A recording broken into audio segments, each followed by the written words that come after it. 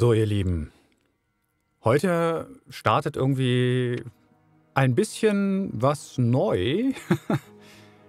Und das werdet ihr wahrscheinlich gar nicht so sehr mitbekommen. Aber ich habe mich äh, jetzt entschlossen, das Videobearbeitungsprogramm von Magix, mit dem ich seit fünf Jahren arbeite ähm, oder auch mich rumärgere, jetzt endlich über Bord zu werfen. Ich habe die Nase voll und alle Vorschusslorbeeren und alle Bequemlichkeitsgewichtungen wiegen das nicht mehr auf, was ich für Ärger mit diesem Programm habe. Es hat mich gut durch die ersten Jahre begleitet, aber inzwischen ist es einfach echt nicht mehr zu ertragen, wie dieses Programm immer mehr verschlimmert wird. Es ist instabil, es stürzt ab, es ist unperformant, es führt zu Audioproblemen und ich habe mich so viel mit, mit Workarounds beschäftigt und habe tatsächlich zwei Lizenzen am Laufen, weil die End-User, also die Verbraucherlizenz, ist einfach besser und intuitiver zu bedienen. Die Pro, also die professionelle Lizenz, hat den besseren Renderer. Und dann habe ich immer von, also gearbeitet mit der, mit der Endverbraucherversion, habe das dann portiert auf die Pro-Version, um es, um es dort zu rendern, was aber nicht dazu geführt hat, dass äh, zum Beispiel die Tonprobleme verschwinden. Und ja, auch die Portierung hat halt immer wieder für Mehraufwände gesorgt, weil dann durch diesen Portierungsvorgang Formatierungen verloren gehen, ich alles neu anpassen musste, dadurch wieder Fehler im Video hatte und so weiter und so fort. Und ich bin es leid. Habe mir jetzt Gedanken gemacht, wie mein nächstes Programm aussehen wird. Es gibt da im Prinzip ja nur sehr wenige Optionen. Es hat sich dann viel fokussiert in Richtung DaVinci Resolve und Adobe Premiere und also Premiere. Letzten Endes habe ich äh, mich durch den Preis leiten lassen, weil Adobe, da muss man dann schon 700, Jahr, äh, 700 Euro im Jahr aufwenden. Und das finde ich einfach echt verdammt viel Geld. Natürlich bekommt man dann irgendwie das komplette Programm äh, mit, also nicht nur die äh, Video, das, äh, das Videosystem, äh, Programm, sondern eben auch Photoshop und alle anderen Programme, aber es ist halt trotzdem einfach, ja, ist mir zu viel Geld. Deswegen habe ich mich für DaVinci Resolve entschieden. Das Lustige ist, die haben auch eine Version, die nichts kostet, mit verschiedenen Einschränkungen. Uh, unter anderem kann man zum Beispiel Videos nicht auf der GPU rendern lassen. Und da Zeit ein wertvolles Gut ist, habe ich mir gesagt, okay, ich gebe jetzt hier einmalig das Geld aus, waren dann 300 Euro, habe mir also die Volllizenz besorgt und habe dann ein Video mal test rendern lassen und habe festgestellt, hey, der CPU-Render-Vorgang ist schneller als der GPU-Render-Vorgang. Verdammt. Aber egal. Ich arbeite da so viel mit und sicherlich gibt es da die ein und andere ähm, das ein und andere Feature, was mir das äh, Leben sicherlich dann auch erleichtern wird an der Stelle. Ja, lange Rede, kurzer Sinn. Ich arbeite also jetzt mit einem neuen Programm. Das heißt, ich muss mich da echt erstmal einfuchsen, weil es ist komplett anders als Magix und hat einen komplett anderen Workflow, komplett andere Bedienelemente, Formatierungen etc. pp. Und ich kann euch noch nicht sagen, also wenn euch auffällt, dass die Übergänge ruppiger sind, dass vielleicht irgendwelche Hintergründe, Animationen nicht passen und so weiter und so fort, liegt es daran, dass ich mich mit diesem Programm einfach noch dabei bin anzufreunden, also es entsprechend kennenzulernen. Und das ist ein Prozess, der ist nicht von jetzt auf gleich getan. Ich habe mir schon verschiedene Tutorial-Videos angeguckt, habe mir so die grundsätzlichen ja, Elemente angeschaut, wie man mit diesem Programm eben umgeht wie die Arbeitsabläufe sind, aber das wird noch etwas dauern, bis das so blind äh, zu bedienen ist, wie das mit Magix ist. Weil eines muss man natürlich den Magix-Produkten zugutehalten, die sind von der Bedienung her einfach, äh, ja, idiotensicher ist ein blödes Wort, aber also man kann sie, selbst wenn man keine Ahnung hat von Videobearbeitung, kann man sie trotzdem bedienen. Die sind einfach sehr, sehr, sehr einfach gestrickt und äh, lassen sich fantastisch bedienen. Wenn die Technik von diesem, ah, Schimpfwortprogrammen einfach mal funktionieren würde, hätte ich auch gar keinen Grund zu wechseln, weil wie gesagt, die sind wirklich intuitiv zu bedienen. Aber technisch sind diese Programme einfach nur katastrophal. Ja, so, das war mein Wort zum Sonntag, Wort vor Wort, Video vor Wort. Was machen wir heute? Ich habe hier ein Käffchen stehen, genauer gesagt ein Becher Kaffee, ein Becher Tee. Und ich möchte euch auf der einen Seite das Insight, das aktuelle Insight Star Citizen übersetzen. Da geht es um Flüsse. Aber das Ganze hat auch eine Vorgeschichte im Rahmen eines Inside Star Citizens, das inzwischen ein Jahr alt ist. Dort wurde uns das erste Mal über die Flüsse erzählt und für alle von euch, die zum damaligen Zeitpunkt noch nicht dabei gewesen sind oder die das vielleicht auch verdrängt haben, werde ich auch noch mal auf dieses Thema eingehen und der englischsprachige Creator Starjump, von dem ihr vielleicht schon das ein und andere Video gesehen habt, der hat ja ganz beeindruckende 3D-Render-Videos gebaut. Von den Schiffen vor allem immer verbunden mit so einer kleinen Hintergrundgeschichte. Also wirklich, wer das noch nicht kennt, auf jeden Fall mal reingucken. Das ist fantastisch, was er dort gemacht hat. Ich verlinke das in der Videobeschreibung, beziehungsweise den Kanal binde ich euch hier rechts oben mit ein. Und der streamt auch und hat Paul Jones zu Besuch gehabt. Jetzt werdet ihr sagen, oh, Paul Jones, da hast du doch gerade schon drüber berichtet. Ja, habe ich. Aber der hat hier im Rahmen dieses Interviews auch wieder viele interessante Sachen erzählt und ich habe gedacht, das wäre doch mal auch ein Anlass im Rahmen eines Käffchens mal auf die verschiedenen Inhalte zu gucken und euch zu erzählen, was dort der Paul Jones so von sich gegeben hat. Also, Heißgetränk am Start und dann geht's los mit dem gemütlichen Teil, mit dem Käffchen und dann im Anschluss noch mit der Übersetzung des Inside Star Citizens. Viel Spaß!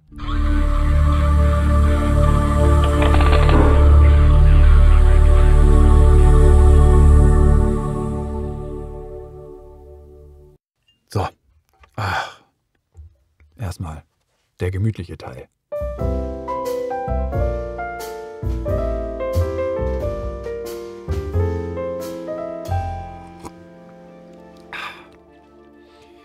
So, Paul Jones ist Art Director bei CIG und der war gar nicht vorrangig bei Starjump im Stream, um über seine Arbeit bei CIG zu sprechen, sondern der hat ein Buch geschrieben. Game Artist heißt dieses Buch. Und da geht es äh, um alles, was mit den besten Praktiken in dieser Branche bis hin einfach auch nicht nur die, um die Technik geht und ja, wie man eben als, als Game Artist in die Branche einsteigt, was die Anforderungen sind etc., sondern auch wie die Arbeitshaltung sein sollte, ähm, Gesundheitsaspekte und Gehälter und Boni.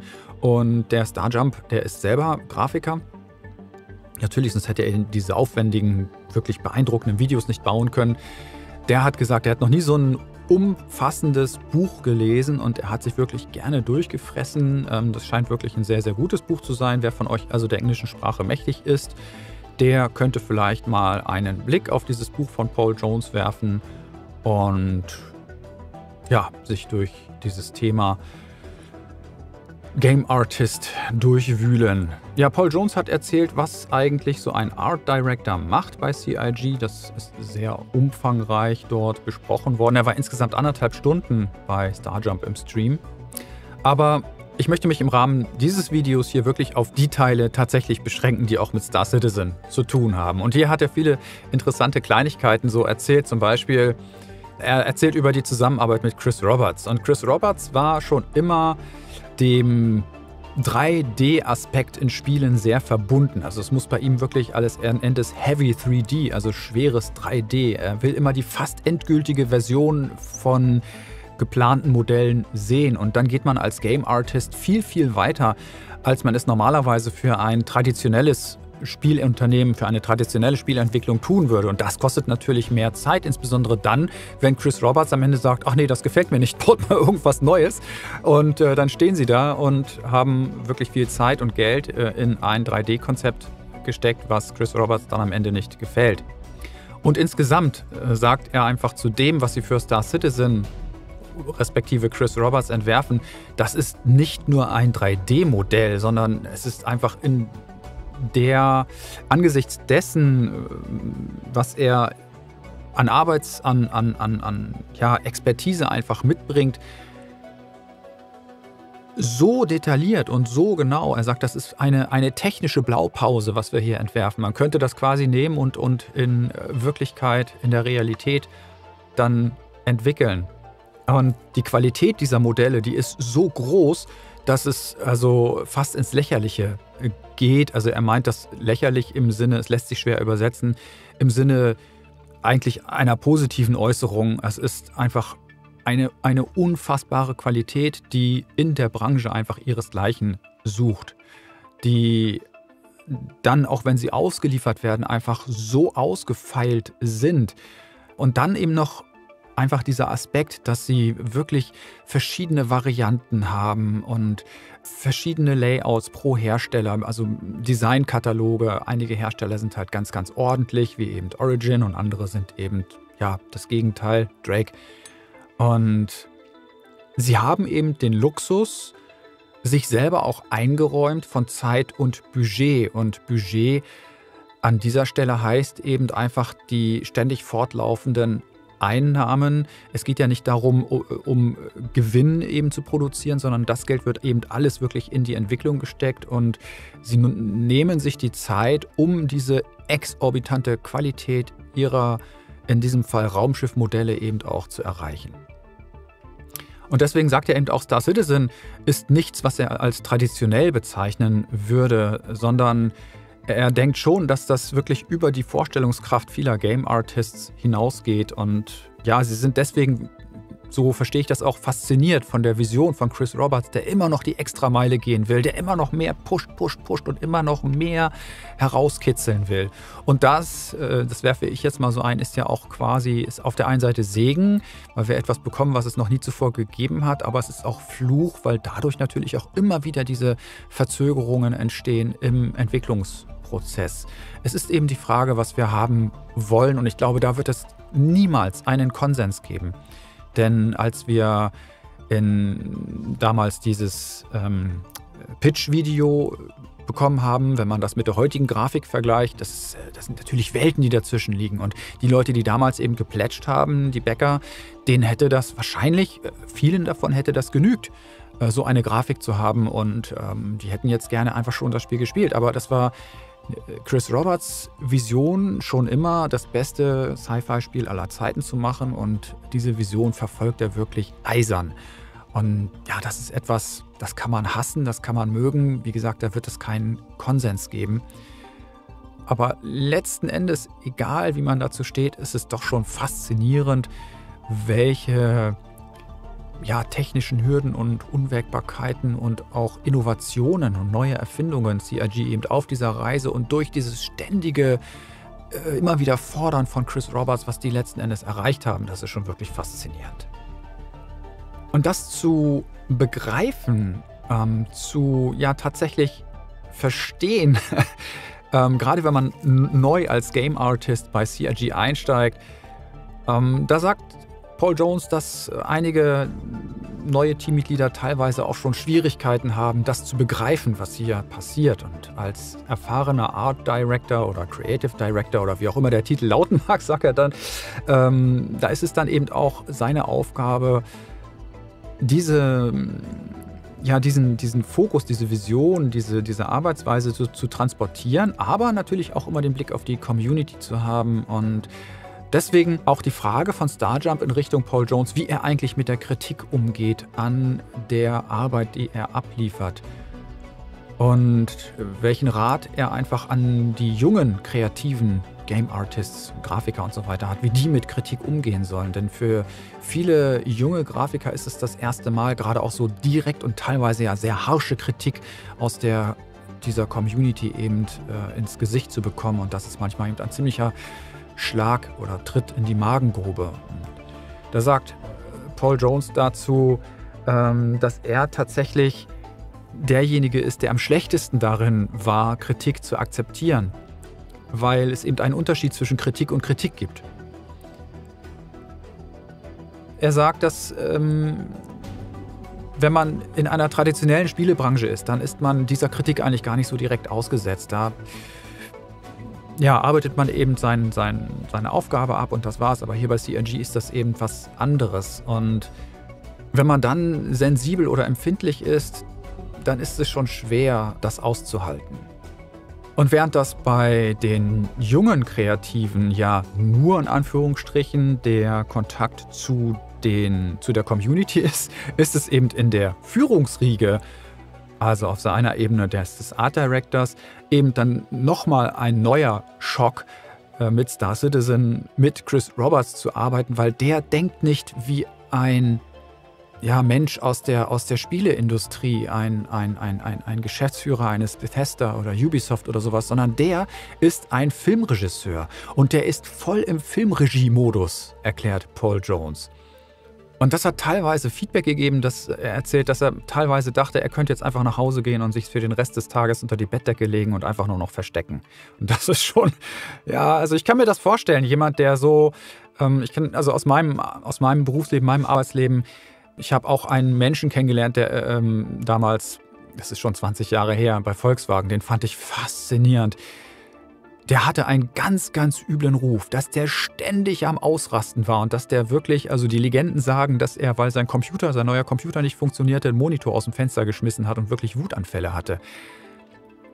Aber wenn man jetzt nicht mit ihm zusammenarbeiten musste, dann war das auch, und ich habe mit ihm eine, eine, eine Führung mit, äh, mitgemacht, wo er über seine Projekte erzählt hat, der war so leidenschaftlich, der war so emotional, der war eloquent, der konnte die Leute mitreißen. Ich habe also bis heute diesen Menschen nicht vergessen, wie der gebrannt hat für das, was der erreichen wollte. Und ähm, ich kann mir einfach gut vorstellen, wenn jemand wirklich so ein Manager-Gen hat und einfach seinen Willen durchsetzen will und dann so emotional ist und so leidenschaftlich für etwas brennt und dann etwas nicht funktioniert, dass die ausrasten, das kann ich mir so gut vorstellen.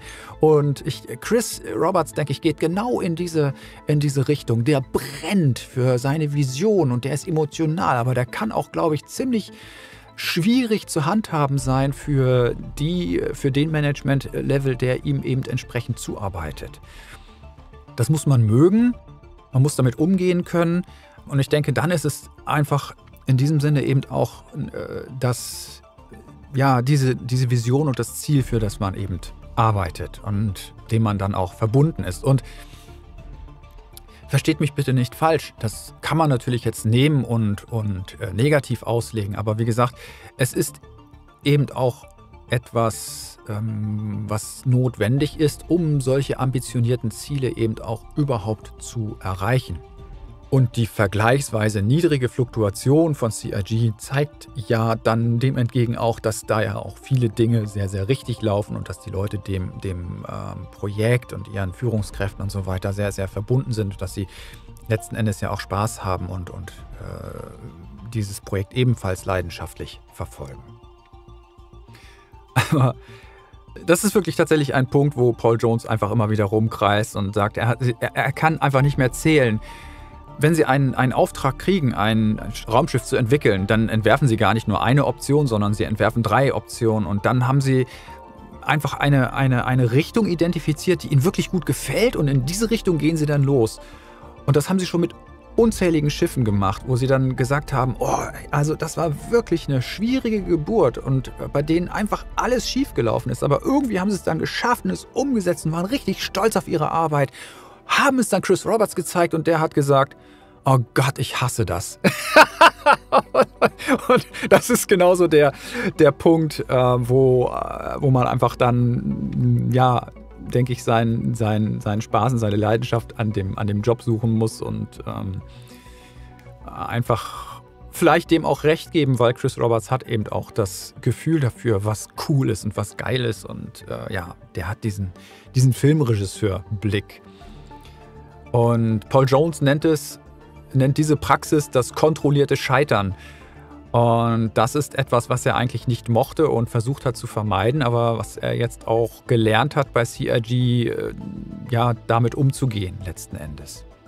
Einfach gedanklich wieder umzuschwenken. Das heißt, wenn er Chris also 20 Skizzen gezeigt hat, wo er alle, wo, zu denen er alle sagt, die finde ich scheiße, die hasse ich, dann wieder zurückzugehen zum Zeichenbrett und sich zu überlegen, okay, was mache ich jetzt?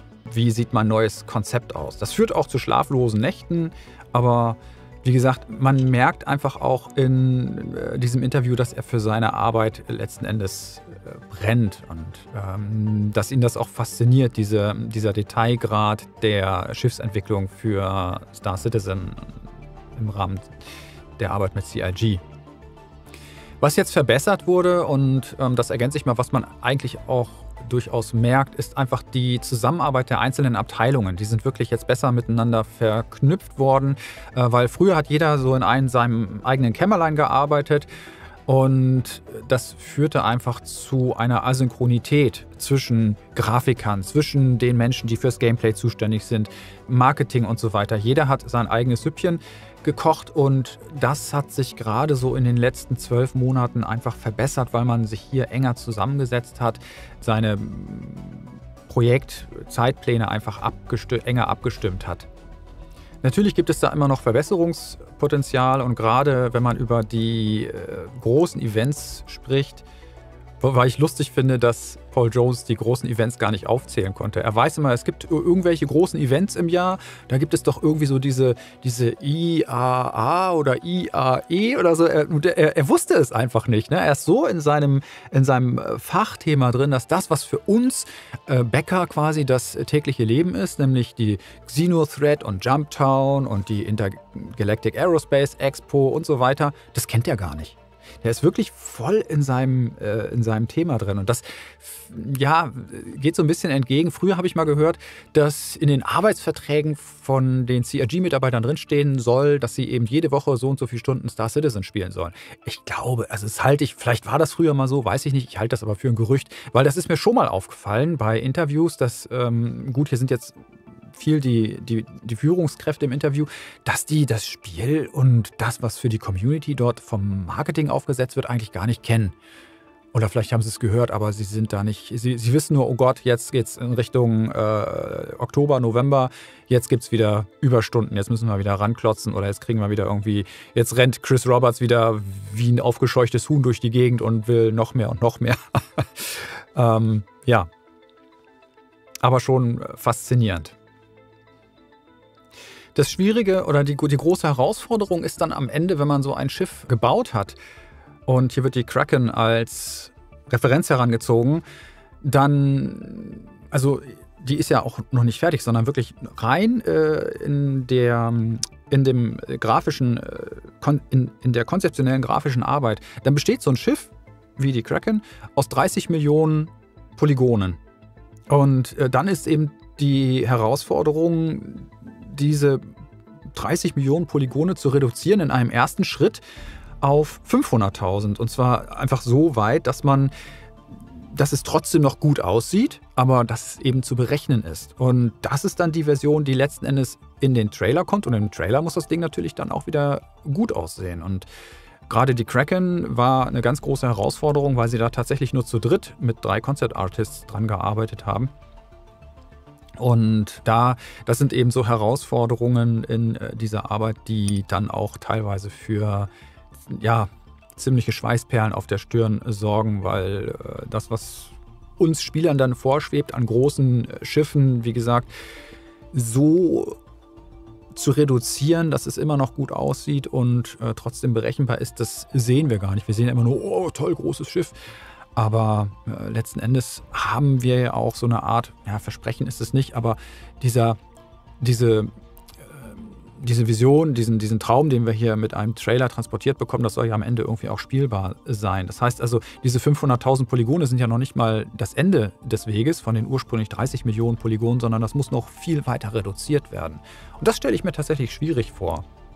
Zumal das Thema Metriken ja auch bei den Schiffen von Star Citizen oder CIG einfach, was wir vorhin gelernt haben, extrem wichtig ist, weil jedes Schiff eben komplett detailliert ausgestaltet ist. Das ist nicht so, dass man eine Außengrafik hat und dann fliegt das da durch den Raum und sieht gut aus wie in anderen Schiffen. Nein, es muss alles komplett begehbar sein. Es muss von der, Innen, von der Innenraumgestaltung her Sinn machen, muss zur Außenhülle passen. Es äh, muss von der Bedienung her Sinn machen, was der Paul Jones sagte. Es ist ja jedes Schiff ist ja nicht nur ein Schiff, es ist eine Blaupause, die man quasi ins echte Leben irgendwie übertragen und dann entwickeln könnte. Mit den ganzen Kabeln und Rohren und keine Ahnung, Toiletten und äh, Werkstatträumen und äh, Kanonierständen und ich weiß nicht was alles, äh, Navigationsräumen bei den großen Schiffen etc. pp.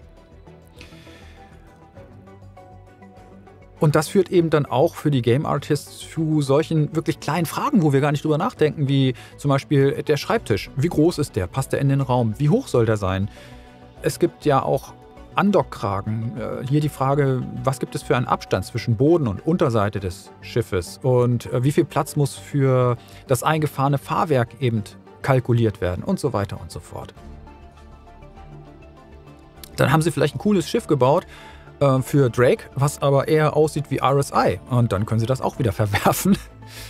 Und ja, dass alles zusammenpasst in Korridore, Cockpit, dass das Schiff dann auch, also dass die Metriken so sind, dass sie in die bestehenden Hangars äh, passen, weil auch äh, das muss ja alles, wie gesagt, das ist ja alles abgestimmt in der Zwischenzeit. Es gibt bestimmte Hangargrößen, zum Beispiel die Carrack ist ja quasi eines der Schiffe, was gerade noch so in den größten Hangar reinpasst. Ähm, dort hat man sich ja auch dann gesagt, wir wollen keine größeren Hangars haben. Wenn ein Schiff größer ist, kann es entweder nicht mehr landen oder es muss auf dem Landepad landen. Und solche vielen Fragen bzw. Vorgaben auch äh, aus diesen Katalogen, die inzwischen entwickelt worden sind, da müssen sich die Game Artists eben auch dran halten und dran orientieren. Und das, ja, diese Entwicklung dieser, dieser Kataloge und der Metriken und all das führt eben auch dazu, dass man, das wissen wir jetzt alle, die wir schon länger dabei sind, die alten Designs der Schiffe nehmen musste und eben komplett äh, neu entwickeln, von der Pike auf neu bauen.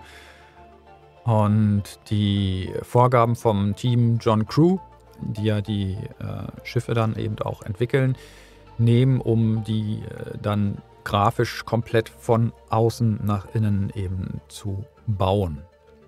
Und äh, Metrik klingt immer so einfach, aber es geht äh, da ja nicht nur darum zu gucken, dass die Gänge auch so hoch sind, dass man dort als Spieler durchgehen kann, sondern es geht eben auch immer beim Begriff Metrik um Standardisierung und um die Frage, haben wir hier etwas man ist als, als Game Artist auch schnell dabei, irgendetwas zu bauen, weil, weil man einfach gerade im Flow ist und weil man da Spaß dran hat. Aber eben auch die Frage, haben wir da schon drüber gesprochen oder muss das nochmal zurückgegeben werden? Müssen wir hier eben einen, einen Standard finden, der dann für das ganze Spiel und für die Entwicklung zukünftiger Schiffe oder für die Umarbeitung alter Schiffe eben auch gilt?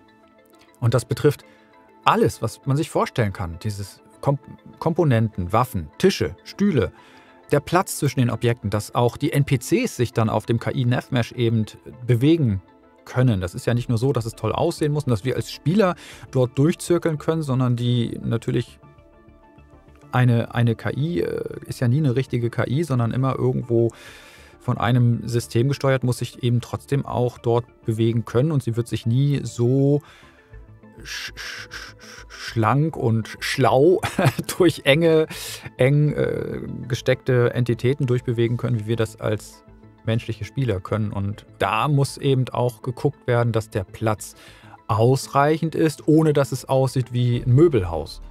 Und hier räumt Paul Jones ein, dass sie mit der Idee der Standardisierung und der Metriken ein bisschen spät dran gewesen sind, dass sie da ein bisschen zu spät mit angefangen haben, diese 3D Baukästen sich einfach auch hinzulegen und aus dem man dann schöpfen kann und, und zu verstehen, dass diese Standardisierung nicht bedeutet, dass man als Concept Artist und als, als Grafiker dann eben seine Kreativität eingeschränkt wird, sondern ganz im Gegenteil, dass es einem eigentlich viel mehr Freiheit gibt, weil man genau weiß, wenn man das dann für sich auch verstanden hat, in welchem Rahmen man kreativ sein kann, ohne dass Mehraufwände entstehen, ohne dass, äh, dass das im Spiel dann eben zu Problemen führt. Und das klingt jetzt lächerlich, aber das sind eben Lernprozesse innerhalb von CRG, innerhalb dieses wirklich wahnsinnig komplexen Projektes, was sie hier versuchen zu realisieren, folgend der Vision von Chris Roberts. Und das ist eben auch ein ähm, ja, Aufgabenbereich von ihm. Er sagt, er muss nicht alles wissen. Das möchte er nicht und das kann er nicht, weil viele großartige Ideen eben aus seinem Team kommen. Er muss nur dafür sorgen, dass er eben Regeln der Arbeit kommuniziert und dass er die Stärken seiner, seines Teams erkennt und dann entsprechend verteilt und einsetzt, weil er kennt eben auch nicht alle Metriken und alle Stilrichtlinien und alles. Das kann er eben auch gar nicht. So ein Schiff erzählte er, und ich denke, das ist nichts Neues. Da geht es ja nicht nur um die Grafiken, sondern auch um die Kosten der Erstellung. Und es gibt reale Kosten, was auf Basis der Größe und Komplexität eines Schiffes die Erstellung dieses Schiffes kosten darf. Da gibt es einen kompletten Plan für. Und wenn ein Schiff ein günstiges Einsteigerschiff ist, dann kann es eben nicht alle wichtigen magischen Dinge tun, erzählt er. Und dementsprechend einfacher und schneller muss es eben auch zu erstellen sein. Und je höher man in der Preisklasse kommt, desto komplexer wird das Schiff, was nicht unbedingt cooler sein muss. Denn es gibt vielleicht Menschen, die es gar nicht cool finden, mit anderen Menschen zusammenzuspielen, sondern die eben ja, alleine spielen wollen. Und für die sind eben die kleinen, einfacheren Schiffe, die auch dann günstiger sind in der Herstellung und letzten Endes dann auch wiederum im Verkauf. Im weiterführenden Interview kam dann der Paul Jones wieder auf die Zusammenarbeit mit äh, Chris Roberts zu sprechen. Also das ist wirklich etwas, was ihn äh, sehr äh, beschäftigt und auch letzten Endes steuert, denke ich, in seiner täglichen Arbeit. Es ging nämlich um die Frage, wie werden Sie eigentlich, wenn man sich das, was er gerade erzählt hat, betrachtet, von den Gameplay-Elementen eingesteuert? Und tatsächlich bekommen sie von John Crew eben das Konzept und haben dann bestimmte Designvorgaben, die sie einzuhalten haben. Entweder weil John Crew, John Crews Team sagt, so und so muss das eben dann äh, werden. Und sie haben natürlich dann ihre Stilkataloge und Designkataloge und so weiter. Und dann sagt John Crew, pass auf, wir machen das jetzt so, A und B und C. Und dann stellen sie das Chris Roberts vor und er sagt dann, also auch mit den, mit den Gameplay-Elementen, was man mit dem Schiff machen können soll, in welchem Bereich und so weiter. Dann geben sie das Chris und er sagt, was ist denn das? Nee, das ist langweilig.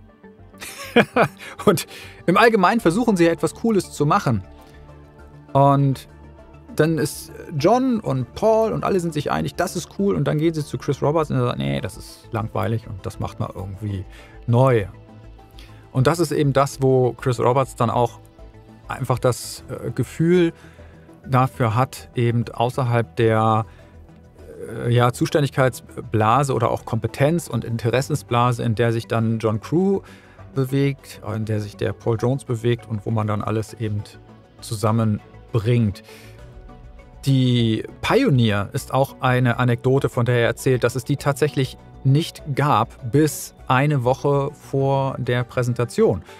Beziehungsweise es gab halt natürlich schon, ähm, er erzählt, es gab ein paar Grafiken, die teilweise nur halb existierten und es gab so ein paar Gameplay-Ideen und er hat dann halt innerhalb von einer Woche alles zusammengeschustert und ja, dann wurde es vorgestellt und es war dann auch wieder ein Verkaufserfolg, aber Ergebnis ist auch, das Gameplay gibt es nicht und äh, dementsprechend an dem Schiff wird nicht gearbeitet und äh, ja, das gibt es einfach noch nicht. Wobei sie sich jetzt eben überlegen müssen, wie das umzusetzen ist, damit es dann später in Star Citizen entsprechend auch funktioniert. Das hört sich immer chaotisch an, aber letzten Endes versucht CRG natürlich auch durch diese vierteljährlichen Patch-Release-Zyklen ähm, und ja, dem, was sie dort an Prozessen entwickeln, in einen Arbeitsablauf zu kommen, der immer planbarer wird. Und solche, solche Unfälle quasi, dass man eine Woche vor einem großen Event dann sagt, oh, wir brauchen noch schnell ein Schiff, dass das nicht mehr passiert, dass man auch einfach weiß, in welchem Rahmen man sich bewegt und äh, dass hier geradliniger, geplanter und zielorientierter entsprechend gearbeitet wird. Dass man weiß, was man zum Beispiel im nächsten Jahr für ein Schiff bauen möchte. Und so eben in den Zustand versetzt wird, eben ein Jahr im Voraus dann zum Beispiel erste ganz, ganz einfache Zeichnungen zu erstellen, um zu überlegen, so in welche Richtung wollen wir überhaupt gehen. Nicht, dass man wieder einfach etwas ganz Tolles baut und dann Chris Roberts sagt, nee, finde ich doof, finde ich langweilig, mach nochmal neu. Und hier auch mh, hm, tatsächlich schon so lange im Voraus mit dem Marketing zusammenarbeitet, um sich zu überlegen, was ist die Aussage des äh, Schiffes? Welche Käufergruppe spricht es an? Ähm, damit die dann auch eine Chance haben, sich entsprechende Pitches äh, zu überlegen.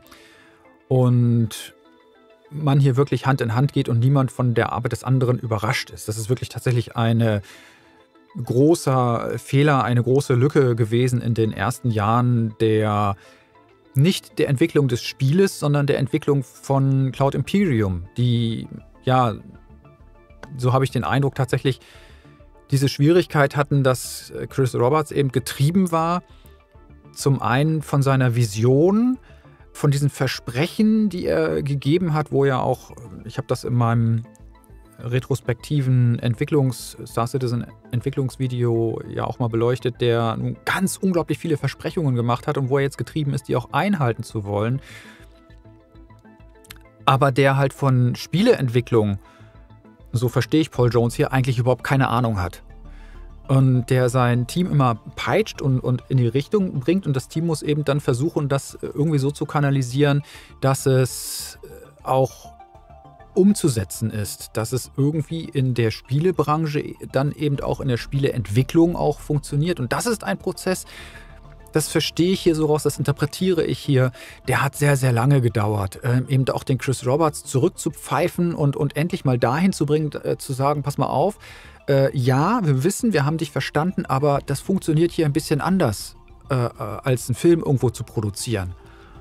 Und ich glaube, an dem Punkt sind sie jetzt inzwischen angekommen, dass sie geplanter vorgehen, dass Chris Roberts sich da ein bisschen weiter zurückgezogen hat, dass er vielleicht auch sieht, ah, es funktioniert und äh, wir brauchen einfach mehr äh, Zeit, beziehungsweise ich gebe jetzt keine, keine äh, Zeitangaben mehr. Das, was er früher mal gerne gemacht hat, sich nach vorne gestellt und um sich geschossen und ja, wir schaffen das und nächstes Jahr gibt es Squadron 42 und so weiter. Das gibt es ja alles nicht mehr. Und ich denke, das ist eben auch ein, ein Lernprozess gewesen an der Stelle.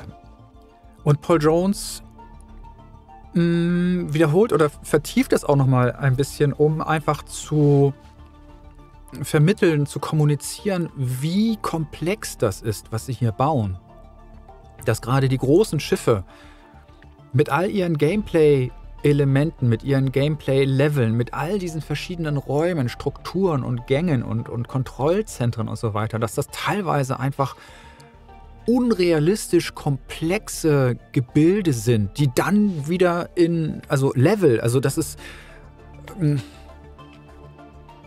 wenn man, wenn man sich Computerspiele nimmt, dann, dann, dann, dann sind das teilweise ganze Computerspiele, die sie hier im, im Rahmen eines, eines Schiffes irgendwie versuchen zu realisieren, die dann wiederum unterwegs sind in anderen komplexen Leveln, nämlich im Weltraum, äh, auf Planeten und so weiter. Und das ist einfach ein unfassbar komplexes, ein, ein, ein unfassbar komplexes Puzzle, Rätsel, was sie hier versuchen zu lösen. Und das führt eben dann auch zu diesen und das alles eben dann auch noch auf, auf Multiplayer-Ebene. Wir reden ja hier nicht über, über Singleplayer, sondern es muss ja auch noch alles irgendwie über Server, Client äh, kommuniziert werden, synchronisiert werden und so weiter. Und das ist einfach ein, eine, eine unglaublich komplexe Sache, wo er auch nochmal um Verständnis wirbt, dass es eben sich immer wieder verzögert, weil es einfach etwas ist, das noch nie zuvor versucht wurde und wo auch heute noch alle, also ja, sich viele Leute an den Kopf fassen und sagen, was macht ihr da eigentlich? Das kann doch nicht funktionieren. Und mein Verständnis ist, dass sie tatsächlich auch aus dieser Haltung, das kann doch nicht funktionieren und das schafft ihr nie, so eine Art Trotz entsteht, der Branche zu zeigen, doch, es funktioniert. Und dass sie daraus auch so einen Teil ihrer Motivation ziehen und sagen, ja, das ist geil und wir schaffen das und wir werden euch beweisen, dass wir es schaffen. Ja, Genau, das war es im Prinzip so auszugsweise aus den Star Citizen CIG-Teilen äh, dieses Interviews, was ich äh, sehr, sehr, sehr interessant fand, diese anderthalb Stunden dem Paul Jones zu lauschen. Ich verstehe ihn aber nicht so, dass er jetzt den Rest seines Lebens verhaftet ist, sondern der ist ja auch dabei mit seinem Bruder. Er hat nicht nur dieses Buch geschrieben, sondern er hat ja auch seine eigene Spieleschmiede gerade gegründet, ganz, ganz klein, independent dass er aber auch dort schon seinen nächsten Schritt sieht, dass er also irgendwann auch sagen wird, so CRG habe ich jetzt genug begleitet und auf den Sattel geholfen und jetzt mache ich mal mein eigenes Ding. Aber Paul Jones ist einer der Köpfe, wo wir sehr, sehr dankbar sein können, dass er dabei ist und dass er weiß, ob trotz aller schlaflosen Nächte, trotz alles Frustes, trotz auch allem, was er lernen musste im Umgang mit dieser Situation, dass er seine Expertise hier reingebracht hat und dass er gemeinsam mit seinen anderen Kolleginnen und, und Kollegen auf dieser Führungsebene es auch geschafft hat, hier Spielbranchenprozesse zu erdenken, zu etablieren und auch Chris Roberts so ein bisschen in seine Schranken zu weisen und zu sagen, pass mal auf, mein Lieber, das ist dein Zuständigkeitsbereich und äh, wir machen das und du machst das und wir müssen alle irgendwie zusammenarbeiten. Und ich glaube, das ist tatsächlich ein nicht zu unterschätzender Prozess, der eben auch ein Teil dessen ist, weshalb sich das Spiel so derart verzögert hat. Und ich hoffe, dass sie eben diesen Mut und diese Motivation beibehalten, das Spiel weiterzuentwickeln und äh, hier einfach professioneller werden an der Stelle. Und er sagt ja auch, ähm, dass, wir, dass sie früher viel Crunch-Phasen hatten, aber dass sich das eben auch deutlich entspannt hat, nachdem sie jetzt in den letzten Monaten immer mehr und mehr in diese äh, Patch-Zyklen und, und die ähm, ja, geordneten Prozesse und Designkataloge und so weiter reingekommen sind. Alles so Sachen, die wir als Community gar nicht verstehen und, und sehen können, letzten Endes, weil, wir, weil uns diese Einblicke fehlen. Und insofern bin ich sehr, sehr dankbar über solche Interviews, die ja eher selten waren in den letzten Monaten, auch insbesondere Monat, Jahren, insbesondere seit dem Weggang der ursprünglichen Crew. Äh, ben Lesnick war ja noch so einer der Urgesteine, der auch gerne mal einen Blick hinter die äh, Kulissen, hinter die Gardinen äh, gegeben hat, hinter die Vorhänge. Ähm,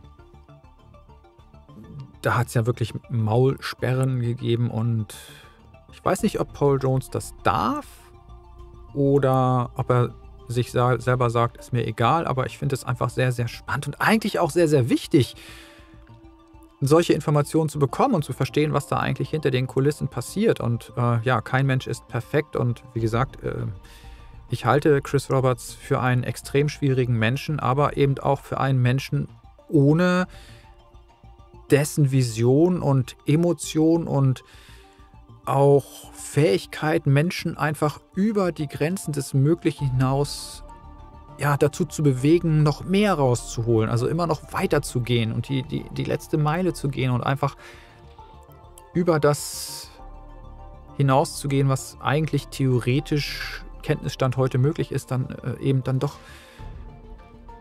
das umzusetzen, was er sich vorstellt. Und das wird der, der Grund dann auch sein, oder das ist einfach auch der Aspekt, weshalb ich denke, sie, sie, sie haben schon so viel geschafft, sie werden auch das noch schaffen, diese Geschichte mit Quantum und mit dem Server-Meshing und so weiter. Und ich bin da eigentlich frohen Mutes, auch wenn ich selber im Moment überhaupt keinen Bock habe auf Star Citizen äh, und weil mich das Spiel einfach nur noch frustriert im Moment und ich da keine, keine Lust zu habe, denke ich schon, dass es am Ende zu etwas wird, an dem alle Spaß haben werden. Aber ja, wie äh, Jared das mal formuliert hat, es wird jetzt erstmal wirklich alles reingepackt, was sie haben und es ist frustrierend und es macht dann teilweise auch keinen Spaß. Aber erstmal wird es entwickelt in seiner kompletten Komplexität und dann wird es am Ende zurückgebracht an den Punkt, an dem es Spaß macht. Aber das ist dann ja eher auch so äh, die Beta-Phase, wenn alle Elemente da sind und dass sie sich dann angucken, so, wie können wir denn die Gameplay-Elemente so gestalten, dass sie dann eben auch wieder Spaß machen. Und das muss jeder für sich selbst entscheiden. Ich spiele im Moment andere Spiele, die mir Spaß bereiten und verfolge mit einem Auge eben die Entwicklung hier weiter. Ja, und ansonsten gibt es noch die Verse Night mit Mitch und mir jeden zweiten Dienstag im Monat, wo ihr uns Fragen stellen könnt und wo wir auch die Entwicklung diskutieren und betrachten von Star Citizen und das Ganze mit ein wenig entspannter Musik und Bildern aus dem Verse unterlegen, um ja so eben auch zu zeigen, wo der Stand der grafischen Entwicklung im Moment ist.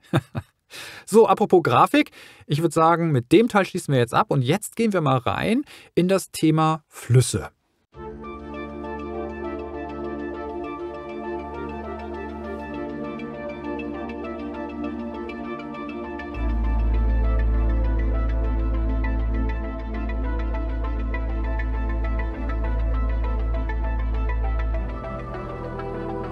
Hier haben sie uns in einem Inside Star Citizen des Januar 2021 erzählt, dass sie bisher das Problem hatten, dass die prozeduralen Geländeoberflächen, Planetenoberflächen, Mondoberflächen nur bedingt dazu geeignet waren, um dort prozedural die Outposts zu verteilen, weil die Geländeoberfläche sich nicht automatisch angepasst hat.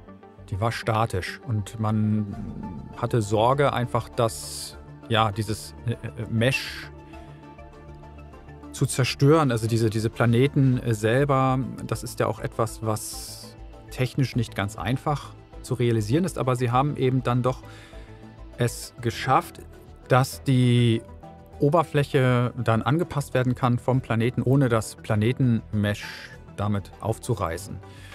Und hierzu werden Bounding-Boxen verwendet, die um diese Outposts gelegt werden. Und wenn man dann äh, diesen Outpost auf das Gelände eben setzt, dann glättet sich das Gelände drumherum ohne dass es jetzt zu Clipping der Geländeoberflächen führt. Und ähm, es muss ja weiterhin auch noch natürlich aussehen und es muss so aussehen, als wäre das in die Umgebung eingebettet worden, äh, ohne dass es eben... Also es soll natürlich wirken. Weiterhin.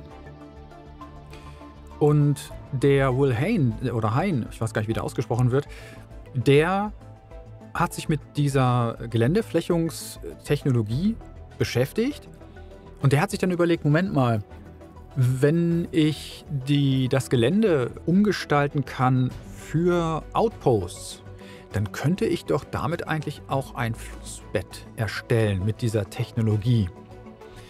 Und von diesem Punkt ausgehend hat er sich dann mit dem Thema Flüsse beschäftigt, hat also erstmal damit begonnen, gedanklich äh, von, seiner, von seinem Konzept her, ein Fluss hat einen Ausgangspunkt, also eine Quelle, der Ort, wo das Wasser eben aus dem Boden entspringt.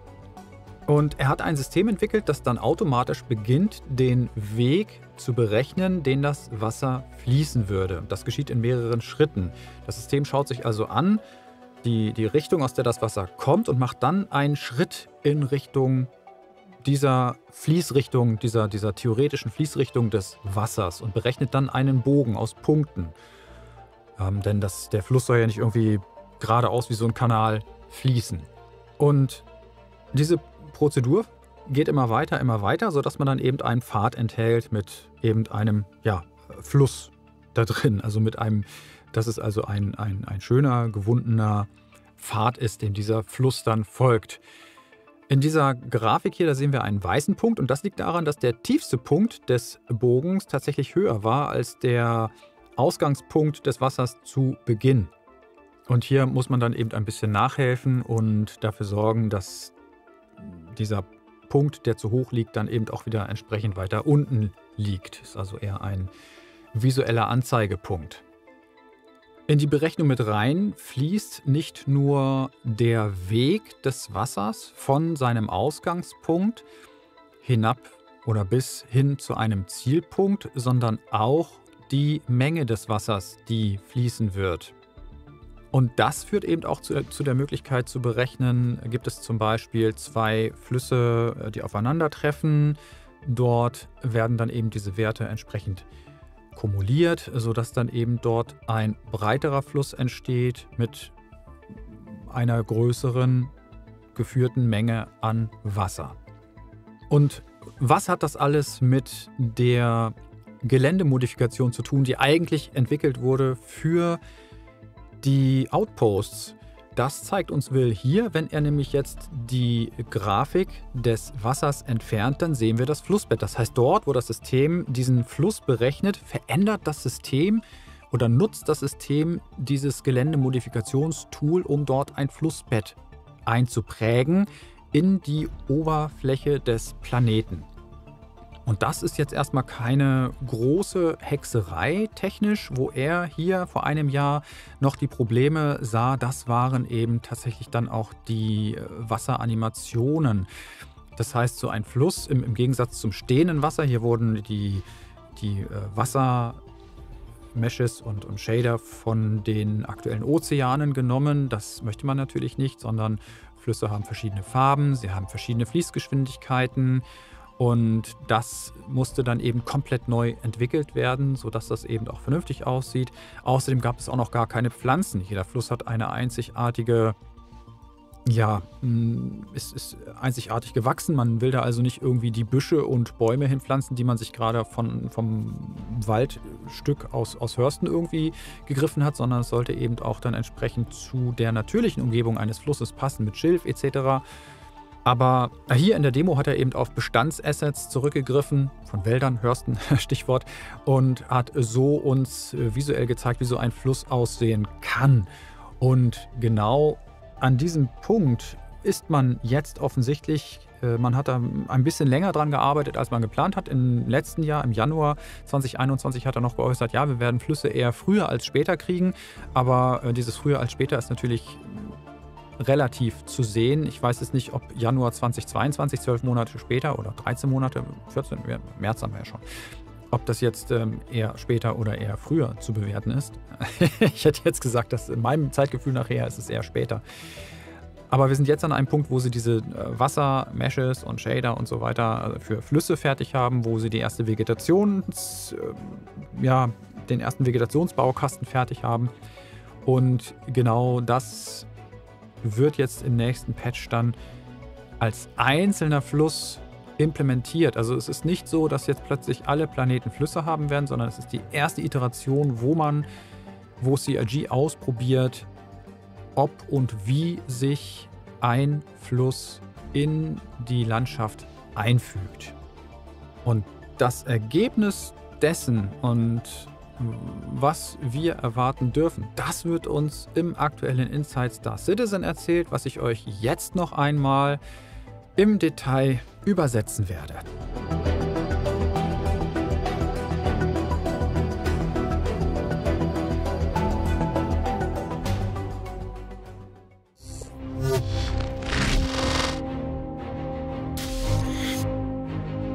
Flüsse sind mehr als nur Wasser. Sie sind ein Ort zum Erforschen. Sie sind ein Ort, an dem du was zum Ernten findest, Harvestables. Ein Ort, der vom visuellen Aspekt her prägend ist für die Umgebung. Und der allererste Fluss wird in Alpha 3.17 durch die Hügel von Microtech verlaufen. Seit letztem Jahr um diese Zeit hat CIG begonnen, Flüsse von einer hübschen Tech-Demo hin zu etwas zu entwickeln, was sie veröffentlichen können. Und CIG dachte, sie wären bereit, Flüsse in Alpha 3.16 reinzubringen, aber Sie bemerkten auch, dass sie noch ein paar Änderungen vornehmen mussten, um sie wirklich dorthin zu bekommen, die Flüsse, wo sie sie haben wollten, um sie dann entsprechend veröffentlichen zu können. Sie begannen damit, die gesamte Objektverteilung zu überarbeiten, um bei der Verteilung von diesen Objekten auf den Planeten eine höhere Leistung, dann eine höhere Performance zu haben. Einer der wichtigsten Punkte, die Will verbessern wollte, war die Erhöhung der Dichte, der Vegetationsdichte um die Flüsse herum, aber ohne die globale Dichte der Objekte zu erhöhen. Und das war knifflig. Das brachte ihn dazu, an On-Demand-Spawn-Punkten zu arbeiten, also auf Anforderungen-Spawn-Punkten. Ein System, bei dem CIG dem Biom-Builder eine Position übermitteln kann und automatisch die entsprechenden Objekte an dieser Stelle dann verteilen wird. Die On-Demand-Spawn-Punkte werden nun prozedural entlang des Flusses und rund um das Flussbett platziert.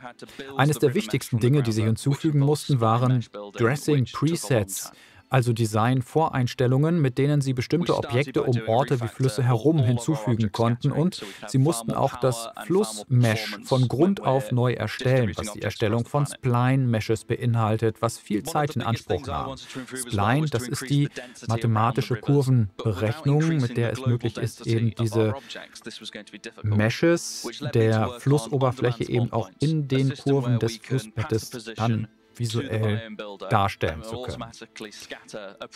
Und diese technische Herausforderung der Spline-Meshes, das hat leider dazu geführt, dass sie Alpha 3.16 verpasst haben aber dafür ist es umso besser, weil sie an all den verschiedenen Interaktionen zwischen dem Spieler und den Flüssen gearbeitet haben. Zum Beispiel, ab Alpha 3.17 können wir jetzt in Flüsse und Meere hineingehen, solange wir einen Helm tragen. Wir können Unterwasserforschung betreiben, wenn wir unseren Helm aufbehalten. Wir ertrinken nicht was ja auch Sinn macht. Wir können jetzt mit dem Grav-Left-Bike sowohl über Meere als auch über Flüsse hinwegschweben, ohne einfach hindurchzufallen und zu explodieren. Außerdem gibt es am Flussrand Erntematerial, also Harvestables, was wir erforschen und einsammeln können. We also have harvestables around the river's edge for you to explore and collect Außerdem wurde an einem Wasserreflexionssystem gearbeitet. Das heißt, einstrahlendes Licht wird vom Wasser reflektiert, wie in Wirklichkeit, sowohl auf Objekte über Wasser wie hier unser Schiff oder eben Bäume oder Felsen, als auch auf die Oberfläche darunter, also das Flussbett. Das ist ganz neu und jetzt hier für die Flüsse. Bei den Ozeanen hatte man noch keine Gelegenheit, sich dieses System anzusehen. Aber wir können hier in den kommenden Patches Verbesserungen erwarten. Die nächste große Verbesserung an den Flüssen, das werden die ja, Schwebebereiche sein, sodass wir Dinge in den Fluss werfen und dann beobachten können, wie sie hinunterfließen. Und es wird Arbeiten am Laubshader geben, der nicht nur die Flüsse, sondern auch die Planeten abwechslungsreicher und eben entsprechend der Saison gestalten wird, Frühling, Herbst, Winter. Für die Zukunft wünscht sich Will, dass ein Artist einen Planeten erstellt und sagt, okay, ich bin zufrieden, die Höhe passt und jetzt lasst uns mal ein Flusssystem dort implementieren. Aber CRG ist noch nicht ganz so weit. Jeder Fluss ist vielleicht ein oder zwei Kilometer entfernt, aber wir brauchen eben hunderte von Flüssen pro Planet, ohne dass man überhaupt als Artist darüber nachdenkt. Die müssen auf Knopfdruck vorhanden sein. Dieser einzelne einsame Fluss in Alpha 3.17, der hat keinen Missionsmarker oder Quantum Travel Marker, mit dem wir ihn finden können, sondern wir müssen eben dann ein bisschen Exploration betreiben und schauen, wo dieser Fluss zu finden ist und Will hofft, dass dieses Video vielleicht eine kleine Hilfe beim Finden dieses Flusses ist. Ja, und Jared sagt, dass die River Tech, die Flusstech, mehr ist als nur das Hinzufügen von fließendem Wasser auf der Planetenoberfläche. Es ist die kollektive Zusammenstellung von Meshes und Shadern, Erosion, Blattwerk, die Überquerungsmöglichkeiten über, unter und durch die Oberfläche. Und es ist der Vorbote von Dingen wie Lavafeldern und Straßen und so viel mehr. Als nächstes werfen wir in dieser Woche einen Blick auf die bevorstehenden Bemühungen zur Verbesserung des Reputationssystems in Alpha 3.17 und darüber hinaus. CRG hat gerade Ninetales, Xenothread und Jumptown getestet. Die Spielerinnen und Spieler scheinen diese dynamischen Ereignisse wirklich zu genießen. Sie führen Kopfgeldmissionen durch, sie führen Attentate durch, all diese Dinge und CRG ist wirklich begeistert davon. Als Designer ist es ziemlich schwierig, sich das anzuschauen und nicht all die kleinen Dinge zu sehen, die sie tun können, um es besser zu machen, um diese Gameplay-Lücken einfach zu verbessern und das gesamte Erlebnis großartig zu machen. Um das zu erreichen, werden sie in naher Zukunft einige neue Features in das Reputationssystem einbauen. Mit dem aktuellen Reputationssystem sind alle unsere Beziehungen zu NPCs statisch. Das bedeutet, dass wir uns mit Kriminellen weder anfreunden können, noch mit Gesetzeshütern verfeinden können.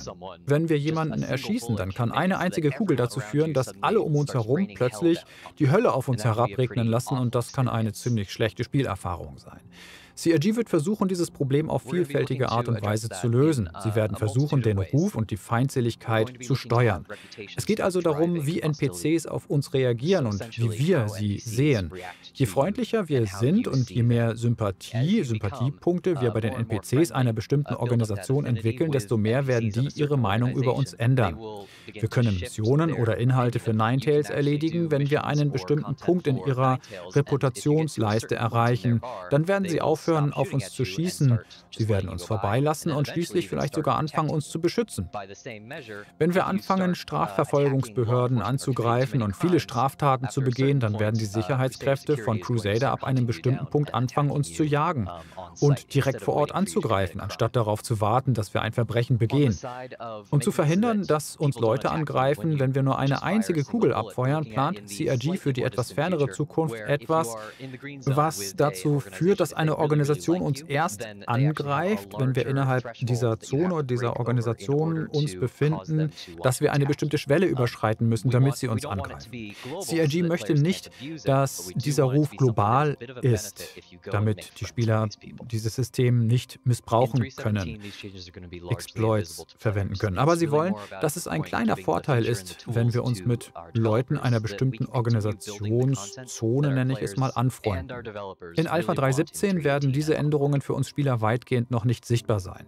Im Moment geht es eher darum, den Entwicklern die Features und die Werkzeuge an die Hand zu geben, damit sie die Inhalte, die wir Spieler und die Entwickler dann wirklich wollen, in 3.18 und darüber hinaus dann eben entwickeln und im Spiel implementieren können, also dass wir die als Spieler dann auch zur Verfügung gestellt bekommen. Und mit diesen neuen Inhalten kann CIG dann zum Beispiel in den Xenothread-Events dafür sorgen, dass wir tatsächlich auf der Seite der Xenothreads stehen können, anstatt nur andere Spieler zu trollen. Außerdem kann CIG damit in Jumptown einige der Löcher stopfen, durch die Spieler das System ausnutzen können, indem sie sich eine schnelle Verbrechensstatistik holen, wird hier erklärt, nachdem sie bereits ihre Pakete ausgepackt haben und nicht mehr gegen andere kämpfen müssen, um ihre Drogen zu bekommen. Und das ermöglicht es CIG auch, viele unserer bestehenden Inhalte für die legale Seite zu nehmen und kriminelle Missionen zu machen, sodass es langfristig tatsächlich Inhalte für Kriminelle im Spiel gibt, die nicht nur mit diesen Events zu tun haben. Und natürlich kann CIG mit zusätzlichen dynamischen Ereignissen, die in der Zukunft dann ins Spiel kommen werden, von Anfang an auf diese Weise erstellen. Mit dieser Funktion kann CIG sagen, bei diesem Event wird diese Fraktion gegen die andere Fraktion antreten und die Spieler können auf diesen Seiten dann dauerhaft eben für die jeweilige Fraktion eintreten. Ja, soweit, so gut. Also ein einzelner, einsamer Fluss dann im nächsten Patch. Ich bin sehr gespannt drauf und denke einfach auch, dass hier wir in der nächsten Zukunft, also sprich in den nächsten Patches, dann auch mehr Flüsse erwarten können, dürfen, hoffe ich jedenfalls. Und das Reputationssystem, da bin ich auch mal gespannt drauf, wie sich das dann auf das Spielerlebnis in Star Citizen auswirken wird. Vielen Dank fürs Zuschauen. Ich bedanke mich bei meinen Unterstützern auf tippi.com, die den ein und anderen Euro geben für die Arbeit, die in diese Videos fließt. Für mich mein Highlight war, wie gesagt, das Interview mit Paul Jones, der Blick hinter die Kulissen, die persönliche Meinung. Wie steht ihr zurzeit zu Star Citizen? Seht ihr es eher wie ich und sagt, naja, mal abwarten, was kommt? Oder seht ihr es eher wie Psychshot, der sagt, ich bin zufrieden, ich finde das cool, ich spiele gerne Star Citizen. Übrigens, schaltet ein auf twitch.tv slash Psychshot. Der streamt regelmäßig nach Streamplan gerne auch mal vormittags. Schaut da auf jeden Fall mal rein, wenn ihr euch über das aktuelle Gameplay von Star Citizen erkundigen möchtet. Damit beende ich jetzt mein Video. Wünsche euch ein sicheres Wochenende und wir hören und wir sehen uns dann beim nächsten Video. Bis dahin, tschüss, viel Spaß.